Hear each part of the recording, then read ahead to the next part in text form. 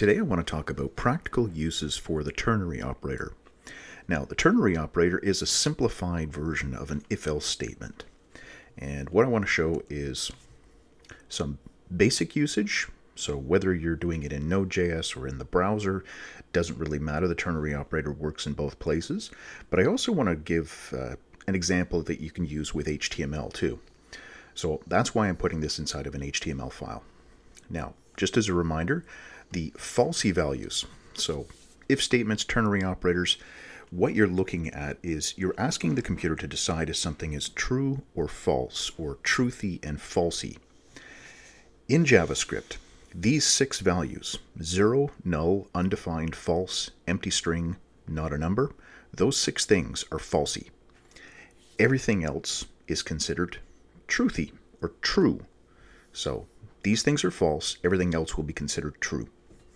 So basic ternary operator. Let's say we've got the, this variable here, age. With the ternary operator, what you're going to do is you're going to have some sort of condition, just like you would in an if statement. And you can wrap this in parentheses if you want. Just makes it easier to read. So if age is greater than 50, that's my question. That's the question that I'm asking. So this is how the ternary operator works. You put the question mark, then we've got two things that can happen. They go inside of these two places right here. So if this statement comes back as truthy, this code will run. If it's falsy, this code will run. And you're limited really to just one command, one thing that you can do. So I could come up with a value, or I could put a command in here. I can say console.log, and, okay, well, if the age is greater than 50, here's our string that we're going to write out. And if we are less than or equal to 50, we'll say console.log, okay, boomer. There we go. So there's our two things that we're doing. Now we'll take a look at this in the browser. And there it is. OK Boomer. I run this again, refresh. There it is. So OK Boomer came back as the answer because this statement returned a falsy value.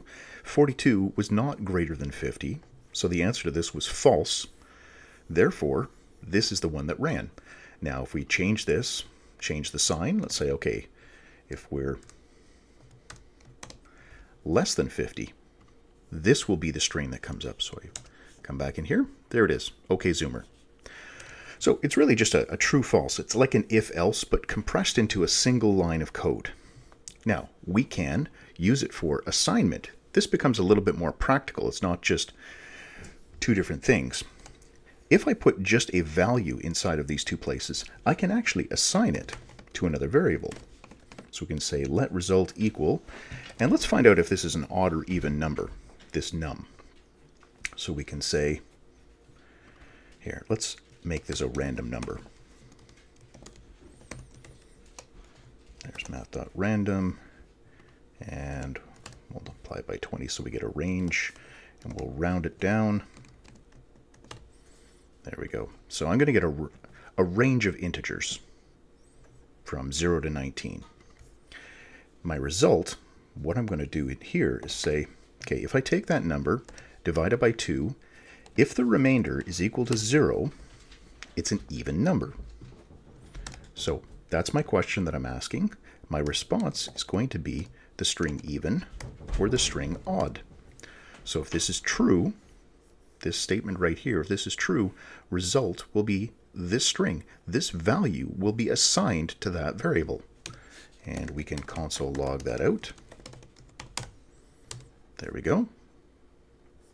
And we should actually put our number inside of here as well so we can see that it is true. So odd, 9. Great. Let's clear this out and run it a few more times. Even is 6. 16 is even. 8 is even. 13 is odd. 16 is even. So we're getting it. This is great. We're getting the answer coming back. So we have not just used a ternary operator to run a statement, we're actually creating a value and assigning that to a variable based on some condition. Okay, great. I'm going to comment this so we don't have as many console log statements happening for our next tests. Nested ternary operators. So I'm sure you've seen if statements where there's another if statement nested inside of it. We can use this to have multiple ranges, not just a, a, yes or a no, even, odd, true, false sort of condition, but multiple conditions. So let's take a look at how we do that. Let's say I'm going to have a, a tax rate for three different ranges.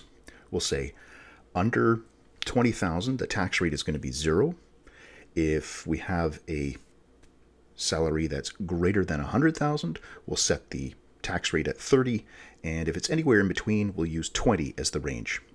So our statement, our first one, we're going to say if salary is less than or equal to 20,000, that's my question. The true response, so if this comes back as yes, a true, truthy value, zero is going to be the number that's assigned to the tax rate. Otherwise, well, you'd think, okay, this is everything else. Anything above 20,000 is going to fit into this category. But I can put another ternary operator right here. So I can say salary greater than 100,000. And we can use, to make this a little bit easier to read, the numeric separator. This video link right here talks about um, this character right here, the numeric separator. So if you don't know what that is, you can take a look at that video. So salary, if it's greater than 100,000, then 30 is going to be the tax rate. Otherwise, it's going to be 20. So here's my different conditions. If it's less than 20, we get the truthy value, 0. That goes into here. So it's being assigned. Now I've got, if it's not less than or equal to 20, we have another ternary statement that's been embedded in here. Greater than 100,000, set it to 30, otherwise 20. And if we console log out our tax rate, we should get our 60,000 coming back. Or the tax rate for the 60,000, which is our 20. Great, so that's working. And then the last part I want to talk about is using this with HTML. Let's say you're trying to find out whether or not something exists on your page. Is there an element with this class name, side? If there is, I want to do something with that. So we'll say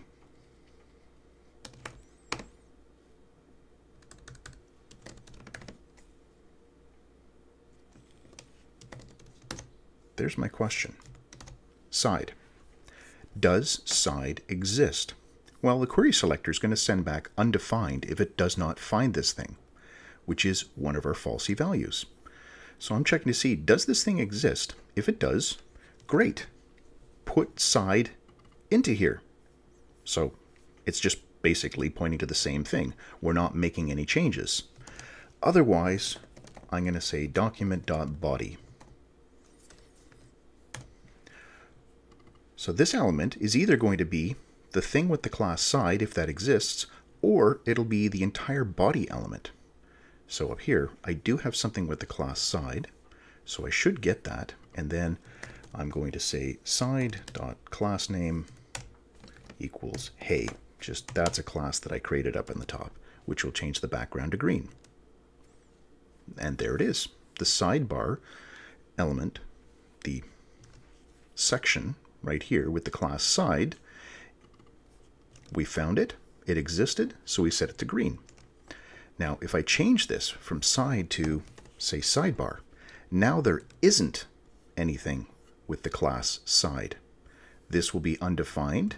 Therefore, document.body will be put into this variable. It'll overwrite the original value of undefined, and we're adding that class to the whole body. And there it is. All right, so there's a few practical uses for the ternary operator. Hope that helps you out. If you have any questions, feel free to leave those down below. I'll answer as many as I can. And as always, thanks for watching.